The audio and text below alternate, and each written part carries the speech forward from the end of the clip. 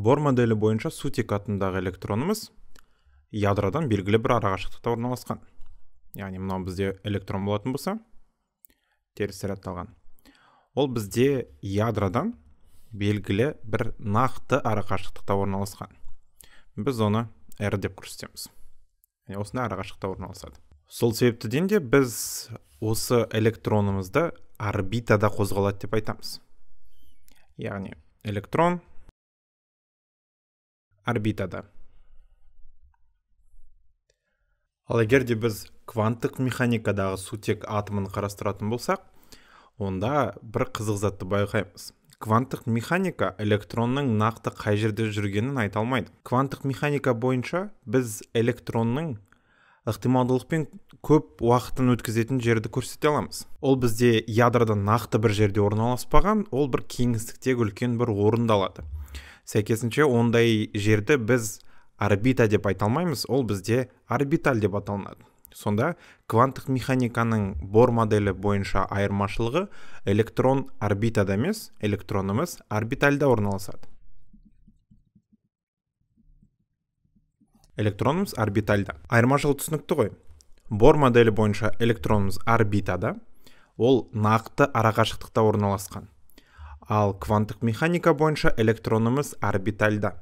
Ол біздің ядромызды жан жағынан қоршап үш өлшемді жерді орындалады. Сонда біздің бор моделіміз электрондардың ядроны айналу кезіндегі механизмді біздің күн жүйесіне өте қатты ұқсатады. Яғни ортада бізде күн орналасқан ал планеталар осы күнді айнала қозғалады. Күннің орнында бізде ядро планета орнына бізде электрондар. Ал кванттық механика ше кванттық механика электронның нақты қай жерде екенін айта алмайды. Ол тек қана кеңістіктегі белгілі бір аймақты көрсетеді. Электронымыз жоғары ықтималдылықпен сол аймақта жүреді деп қана айта алады. Осы себептен де біздің бор моделі осы электрондардың қозғалысы бойынша дұрыс емес болып саналады. Ал кванттық механика теориясы өзінің кванттық сандармен бірге бірнеше рет өте жақсы дәлелденген болатын. Яғни кванттық механика бізде электронның ядроны айнала қозғалу кезіндегі орбитальдармен қозғалатынын көптеген жағдайлармен дәлелденген болатын. Енді сол әрбір жағдайларды жеке жеке қарастырып көрейік. Алдымен осындай мысалдарды қарастырайық.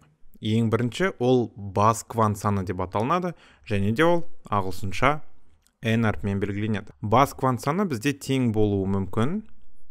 Бір екі үш. Және осылай кете береді. Бас квант саны біз осыған дейін қарастырған энергетикалық деңгеймен сай келеді яғни бас квант саны дегеніміз ол бізде энергетикалық деңгей. Бас квант саны дегеніміз қалай жұмыс істейтінін түсініп көрейік. Бас квантсаның негізгі мақсаты ол электрондарымыз ядродан қаншалықты арақашықтықта орналасқанын көрсету. Яғни біздің электрондарымыздың кейбіреулері ядроға жақын орналасады а кейбіреулері ядродан алыс орналасады. Осыны бізде бас квант саны сипаттайды. Мысал қарастырып көрейік. Мынау бізде ядро болсын. Ядромыз бізде оң зарядталған әрине. Және де осы ядродан белгілі бір арақашықтықта орналасқан электрондарды көрсетейік. Бірінші бас квант саны бірге тең болатын болса онда ол осындай арақашықтықта орналасады. Осындай арақашықтықта электронымыз бізде ядроны айнала қозғалып жүреді. Ал егер де ә, n-іміз екіге тең болатын болса ше n екіге тең болған кезде онда ол мысалға осындай арақашықтықта орналасатын болады.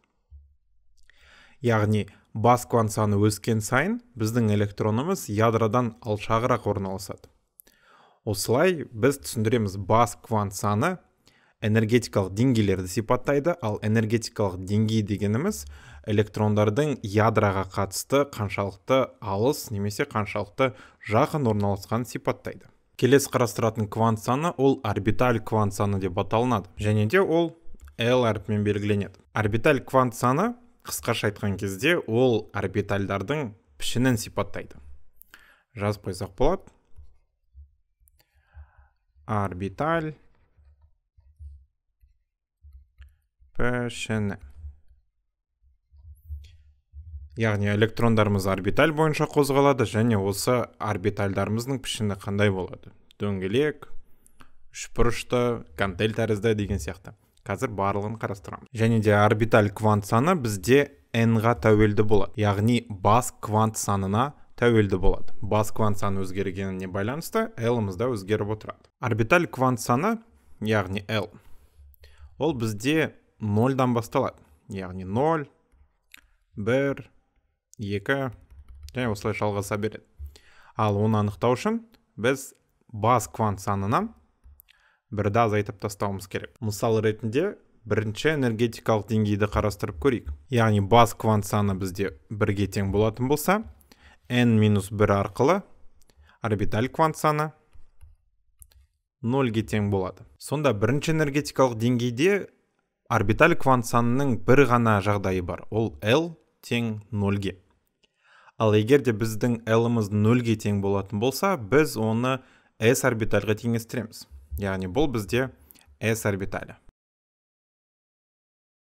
Бор моделі бойынша сіздермен s орбиталін қарастырған болатынбыз. Нақтылап айтқан кезде сутек атомын қарастырған болатынбыз. Ол бізде сфера тәріздес болған.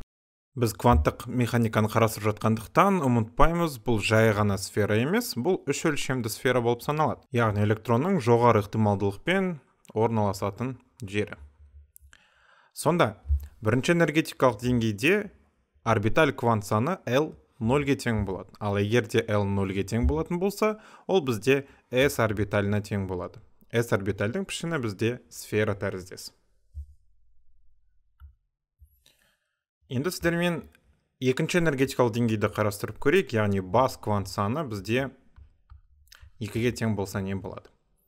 Бас квант саны екіге тең болатын болса онда l-дың мәні екі түрлі болуы мүмкін. Мына қатарымыз бойынша l-дің мәні екіншіге дейін бара алады. Яғни n минус бір екіден бірді азайтып тастайтын болсақ бізде бір шығады. Сонда l-дің бізде екі түрлі мәні шығады. Ол 0 және де 1 сіздермен l 0-ға тең болған кезде не болатынын айтып кеткен болатынбыз. L-ымыз 0-ға тең дегеніміз ол s орбиталіне сәйкес келеді. Және ол сфера тәріздес деп айтқан болатынбыз. Ал егер де біз үшін енді жаңасы ол l бірге тең болса не болады? L бірге тең дегеніміз ол бізде p орбиталіне сәйкес келеді. P орбиталінің пішіні бізде сәл қызығырақ болып келеді. Оны қарапайым тілмен айтқан кезде шексіздікке өте ұқсас болып келеді. Егер де мынау біздің ядромыз болатын болса онда бір жағы үстіне қарай екіншісі астына қарай осындай p орбиталін аламыз. Шексіздікке ұқсас болып келеді бірақ та ұмытпаймыз бұл бізде үш өлшемді болып саналады. Осы аймақта біз электронымызды таба аламыз. Бірақ та бұл шексіздік деп аталмайды бұл бізде гантель тәріздес деп айтылады. Яғни шексіздік белгісі мен гантель тәріздестің айырмашылығы ол үш өлшемділігінде ұмытпаймыз. S орбитальда бізде үш өлшемді бұл шеңбер емес сфера. P орбиталімізда бізде үш өлшемді. Сол үшін бұл бізде гантель тәріздес деп аталынады. Кейбір жағдайларда бұларды біз деңгейшелер деп айтамыз. Яғни s деңгейшелері немесе p деңгейшелері. Есімізде бар болса бас квант саны n. Ол бізде энергетикалық деңгей деп аталынады. Яғни n ол бізде деңгей болатын болса онда l ол бізде деңгейше деп аталынады. Және де l-ымыз 0 дегеніміз бұл деңгейшеміз s орбиталына сай келеді l-ымыз бірге тең болған кезде бұл бізде p орбиталына сай келеді үшінші квант саны бізде магнит квант саны деп аталынады. Және де магнит квант санының басты түсіндірмесі ол біздің орбитальдарымыз атомдағы магнит өрісінде орбиталіміз қандай бағытта орналасатынын түсіндіреді. Және де магнит квант саны түсінгендегіміздей ол l квант санына тәуелді болады. Жаңа айтып кеттік қой баз квант саны n және де орбиталь квант саны l. Осы орбиталь квант саны n-ға тәуелді болады. Ал енді қарастырып жатқан магнит квант саны m деп белгіленеді. Бұл бізде орбиталь квант саны яғни l-ға тәуелді болып келеді. Магнит квант саны қандай сандарға ие болуы мүмкін? Бұны түсініп алайық. Бұл бізде l-ға тәуелді болады деп айттық қой. Және де магнит квант саны минус таңбалы l-дан плюс таңбалы l-ға дейін болады. Енді осыны нақты мысалдармен түсіндіріп көретін болсақ бағана айтып кеткенбіз бірінші энергетикалық деңгей бас квант саны бірге тең болады. Ал осы кезде бізде l-ымыз нөлге тең болады. Себебі l ол n минус бірге тең. Ал енді l-ымыз нөлге тең болған кездегі магнит квант саны неге тең болады? Біз жаңа айтқанбыз магнит квант саны ол минус таңбалы l-дан оң таңбалы l-ға дейін деп. Сонда ml-міз яғни магнит квант саны барлығымыз түсінетін шығармыз. 0 деген санның теріс немесе оң таңбасы болмайды. Сол үшін бізде ml-мызда тек қана бір ақ қана сан мүмкін ол 0 болып келеді. Енді бұл сандар нені білдіретінін түсініп көрейік. Мен қазір басқа түсті таңдайын. Біз жаңа айтып кеткен болатынбыз. L 0-ге тең болған кезде ол бізде s орбитальға сай келеді деп. Яғни l 0 ол бізде s орбиталі ал s орбиталінің пішіні біз айтып кеткен болатынбыз ол сфера тәріздес. Үш өлшемді сфера. Енді магнит квант саны осы орбитальдің қандай бағытта орналасу мүмкіндігін көрсетеді.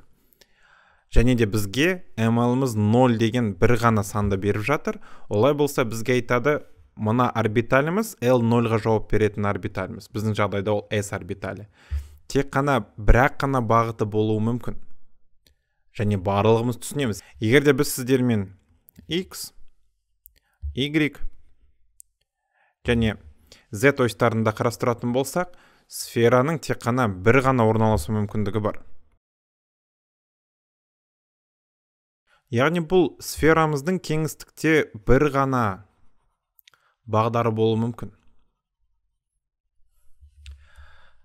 Кейбіреулерімізге түсініксіз болып қалуы мүмкін. Егер де біз келесі магнит квант санын қарастыратын болсақ онда сіздерге барлығы өте жақсы түсінікті болады.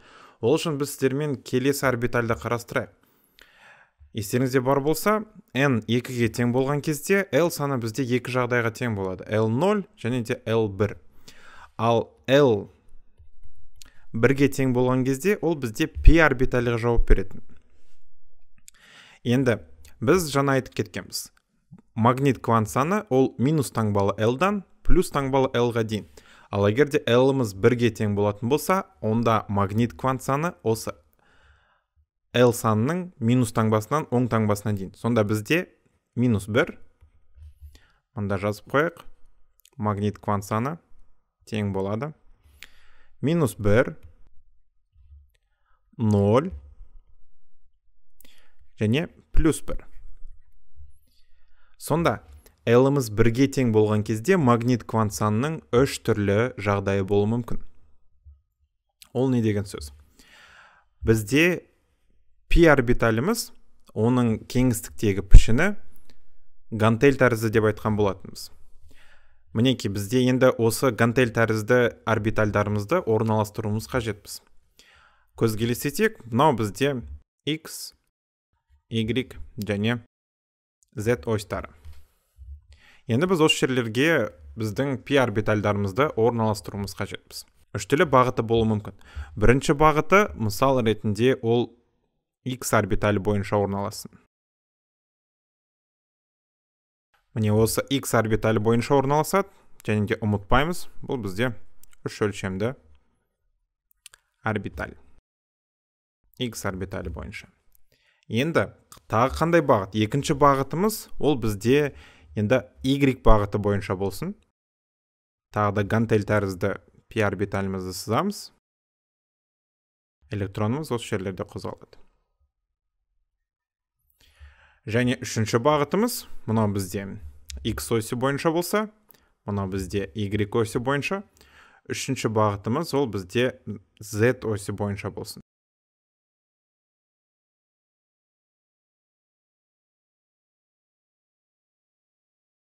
Сонда l-ымыз бірге тең болған кезде магнит квант санының үш түрлі жағдайы пайда болады. Минус бірден 0 плюс бірге дейін. Және де пи орбиталі гантель тәрізді болады. Осы үш түрлі гантель тәрізді орбитальдарымызды біз x y және де z осьтары бойынша орналастырдық. Сонда біз сіздермен пи орбитальдарын үш түрлі осьтарға орналастырдық. Себебі біздің магнит квант саны осы p орбитальдары үш бағытта қарауы мүмкін деген сандарды берген болатын. Бірінші жағдайда бұл бізде x осі бойынша орналасқандықтан біз бұны px деп көрсетсек болады. Яғни px орбиталі. Екінші жағдайда бұл бізде y осі бойынша орналасқандықтан біз бұны пи y деп көрсетсек болады. А сәйкесінше үшінші жағдайда бұл бізде z осі бойынша орналасқан сол себепті мен бұны пи z деп көрсетемін. Сонда менде px орбиталі py орбиталі және pz орбиталі болады. Соңғы квант саны яғни бізде төртінші кванттық санымыз ол бізде спиндік квант сан деп аталынады. Спиндік квант саны бізде ms әрпімен белгіленеді. Кейбір жерлерде ол жай ғана s әрпімен белгіленеді. Енді түсініп көрейік бұл қандай квант сан және де нені сипаттайды? Спиндік квант санымыз электронның өз осі бойынша қай бағытта айналатынын көрсетеді. Яғни біз мұнда сызып көрейік. Осындай екі электронымызды сызып қояйық енді спиндік квант санымыз нені сипаттайды осы электронымыз кеңістікте қай бағытта өз осі бойынша айналып жатқанын көрсетуіміз қажетпіз яғни бір бағыт. Ол сағат тіліне қарсы болсын келесісінде ол сағат тіліне бағыттас. Яғни электронымыз кеңістікте сағат тіліне қарсы қозғалуы мүмкін немесе сағат тілімен бірдей қозғалуы мүмкін. Бірақ та ешкім білмейді. Яғни біз атомның деңгейіне түсіп электронды қарап көрген жоқпыз. Бізге тек қана белгілі мәлімет ол бір орбитальдың ішінде екі электрон бар екені белгілі. Және де осы екі электронды бір бірінен ажырату үшін біз осындай өзімізге ыңғайлы болу мақсатында спин квант санын жазған болатынбыз. Спин квант саны сендерде екі түрлі мәнге ие болады әрине. Бірінші жағдайда сағат тіліне қарсы кезінде біз оны минус екіден бірге тең деп айтамыз. Ал сағат тілімен бағыттас болған кезде біз оны плюс екіден бір деп көрсетеміз. Және де бізге ыңғайлы болу мақсатында әрдайым біз бұндай сандарды немесе осындай суреттерді салудың орнына минус екіден бір кезінде біз оны төмен бағытта қозғалып жатыр плюс екіден бір кезінде біз оны жоғары бағытта қозғалып жатыр деп көрсетеміз. Алдыңғы сабақтардың бірінде электронды конфигурацияны сызған кезде біз сіздермен көрсеткен болатынбыз. Естеріңізде бар болса ұяшықтарда электрондарды біреусі жоғары бағытта біреусі төмен бағытта деген белгілемелерді қойған болатынбыз. Мінекей осы бізде спин квант санына тәуелді болып келеді. Сонымен біз сіздермен төрт квант санын қарастырып шықтық. Енді осы квант сандарын қарастырған кезде ең алдымен ядраны айнала қозғалып жүрген электронды көзге елестетіңдер осы квант сандардың негізгі мақсаты электронымыз ядроны айналған кезде қалай айналып жатыр қаншалықты жақын қаншалықты алыс қандай пішінмен қандай орбитальмен спині қандай болып жатыр деген сияқты сұрақтарға жауап береді. Егер де осындай оймен қарастыратын болсаңдар сендер атом құрылысын жақсырақ түсініп атомның ішіндегі электрондар қалай қозғалатынын жақсы білетін боласыздар.